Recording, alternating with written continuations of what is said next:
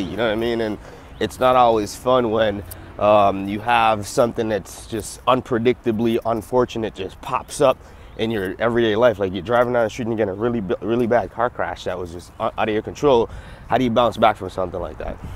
You know what I mean? You're building your home business and, and uh, you lose all the money you have on a bad investment. How do you bounce back from something like that? And and um, this thing about when it happens on multiple occasions, like you know what I mean, you invest your money into something, it, it fails, you invest again and it fails again.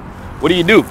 Excuse me. How do you continue to bounce back and keep on moving forward, even though life and all your decision making is just giving you bad results? You know what I mean? What do you do? Well, the, the sad thing to do to, to tell you is you gotta think about a bigger goal, a bigger vision.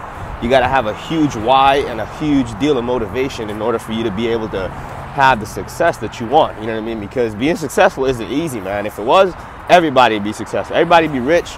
Everybody would be going to Disney World and all that stuff all the time, but it ain't that way. You know, like all these people here on this parkway, look, they all going to work. See these folks, majority of them are going to work each and every day, living a mundane life.